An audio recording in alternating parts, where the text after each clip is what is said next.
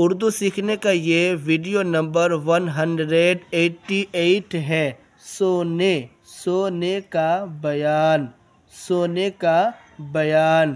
سونے کے سونے کے پہلے سورہ اخلاص تین بار اور قل اعوذ برب الفلق۔ سورہ اخلاص کہتے ہیں، قل هو اللہ احد کو۔ تو سونے سے پہلے کیا پڑھیں گے؟ تین بار۔ کیا پڑھیں گے؟ سورہ اخلاص تین بار۔ اور قل اعوذ برب الفلق یعنی سورہ فلق۔ قل اعوذ برب الناس یعنی سورہ ناس۔ اور سورہ فاتحہ ایک ایک بار پڑھنا مسنون ہے۔ سورہ اخلاص تین بار، اور اس کو ایک بار، اور سورہ ناس کو ایک بار، اور سورہ فاتحہ یعنی الحمدللہ، اس کو ایک بار ایک بار پڑھنا مسنون یعنی سنت ہے۔ اس سے سونے والا بلاؤں سے محفوظ رہتا ہے۔ اس سے سونے والا بلاؤں سے محفوظ رہتا ہے۔ اور یہ دعا پڑھنا بھی مسنون ہے۔ یعنی یہ دعا پڑھنا بھی سنت ہے۔ یہ والی دعا۔ اللہم بسمک اموت و احیا۔ یہ دعا پڑھنا بھی سنت ہے۔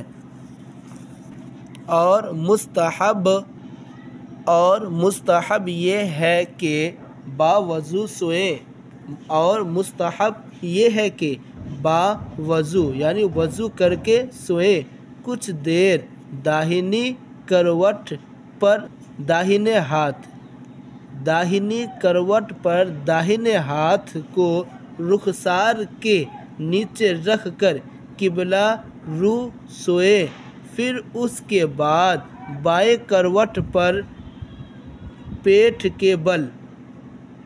نہ لیٹے، حدیث شریف میں ہے کہ اس طرح لیٹنے کو اللہ تعالیٰ پسند نہیں فرماتا۔ اور مستحب یہ ہے کہ باوضو سوئیں کچھ دیر داہنی کروٹ پر داہنے ہاتھ کو رخسار کے نیچے رکھ کر قبلہ رو سوئے۔ پھر اس کے بعد بائیں کروٹ پر پیٹھ کے بل نہ لیٹے۔ حدیث شریف میں ہے کہ اس طرح لیٹنے کو اللہ تعالیٰ پسند نہیں فرماتا اور پاؤں پر پاؤں رکھنا منع ہے اور پاؤں پر پاؤں پاؤں پر پاؤں رکھنا منع ہے جبکہ چت لیٹا ہو۔ اور یہ اس صورت میں ہے، اور یہ اس صورت میں ہے، جبکہ تہبند پہنے ہو۔ جبکہ تہبند پہنے ہو، اور ایک پاؤں کھڑا ہو، اور ایک پاؤں کھڑا ہو، کہ اس طرح بے ستھری کا اندیشہ ہے۔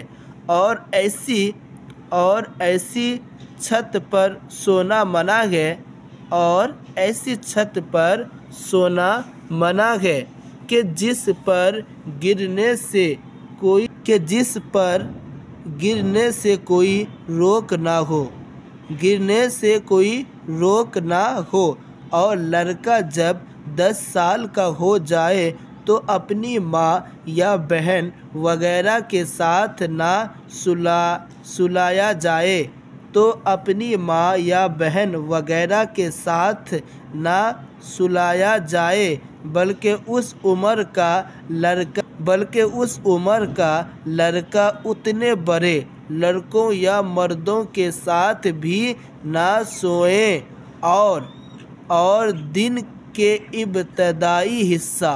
اور دن کے ابتدائی ابتدائی حصہ میں سونا۔